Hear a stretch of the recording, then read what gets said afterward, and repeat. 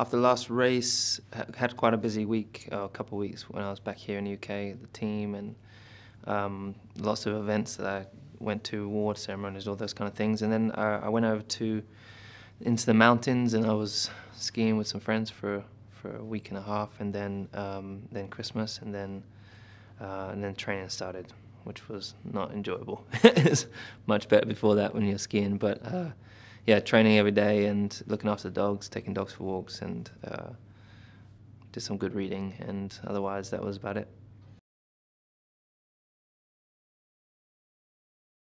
I'm looking forward to Melbourne.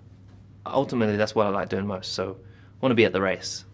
The stuff that's all around it, in between it, is not the most enjoyable uh, point. Part of it is you know the stuff that you have to do, but the uh, the point when you get to the race and the build up and the working with the engineers and getting in the car, that's the stuff I look forward to.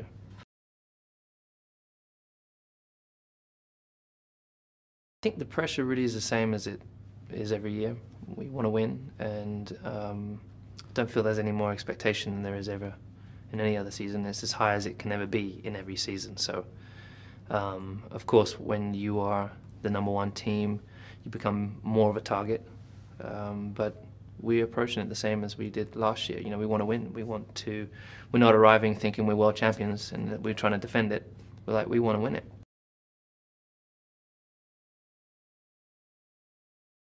Formula One never sleeps really. You know, the guys have been focused on building this new car or designing this new car since halfway through the season last year, and they've been flat out.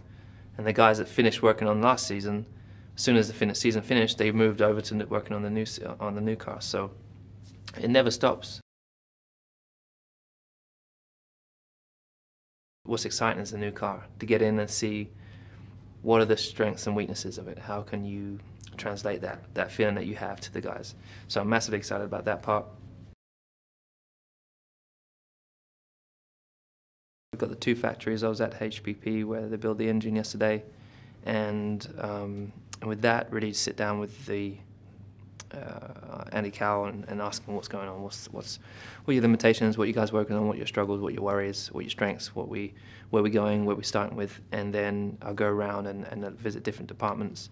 I was back at the factory at uh, um, at Brackley and sitting with my engineers, getting back in touch with my engineers, really trying to uh, get them motivated and let them know, hey, I'm here, I'm ready to go again.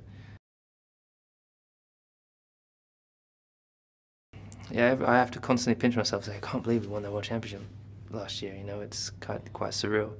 But I think you can never let yourself get too excited or carried away with it because then you believe your own hype. So I don't. I want to win again. I'm just as hungry as I was when I started. Don't know how Renault's going to do with their engine, so therefore you don't know how Red Bull's going to stand, but they always have a good car. You've got Williams, who were very strong last year. They've got our engine as well, so you have to anticipate they're going to be very quick. Um, is a real unknown. Not really did, not really done a huge amount in the last uh, couple of years, and then, um, or, last year at least. And so it can't get any worse and it can only get better, I would assume. And so they will be pushing and working hard to get closer. And the same really for McLaren, maybe even more so for McLaren. You know, they're going to be working hard to to get close. So it's going to be it's going to be interesting to see how the testing goes.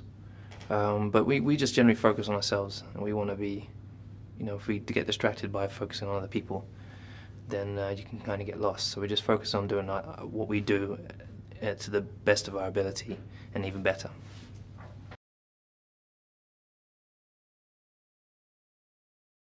I think it's cool that we have the champions are in different teams and also top teams, so they can potentially uh, be fighting. Um, you obviously have some great young drivers that haven't won championships yet, but have the ability to to do so. Um, but yeah, you need like every team needs that almost needs that um, that driver to really lead them. You know, to take their whatever the way they drive the car, which really kind of takes the car to the limit and beyond. And which is that's the only way you can really develop a car is by finding where the limits are. So you can work on making sure that they're not limits and keep moving that that um, keep moving the bar higher or raising the bar.